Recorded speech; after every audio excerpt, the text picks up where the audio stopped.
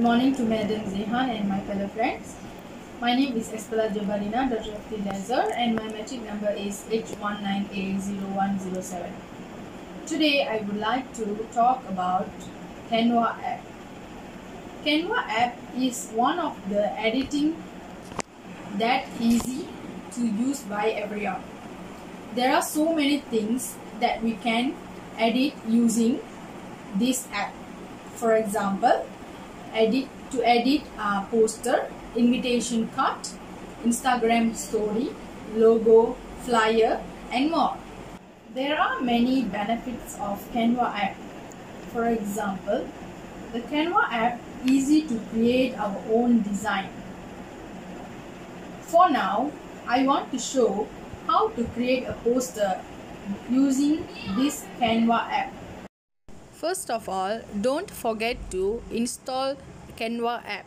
Second step is we need to sign up or log in the app.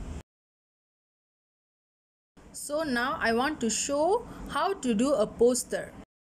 First of all, we need to choose a background for the poster. There are a lot of background that you can choose but now I'm choosing this background to do my poster. We can use this text box to type a message. For example, I type Selamat Hari Raya.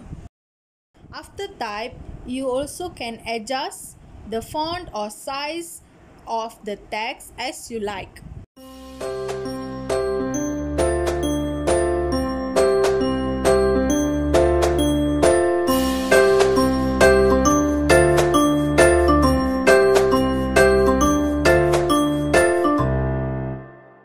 The final step is you need to save your design. Please do not exit this app while preparing your design.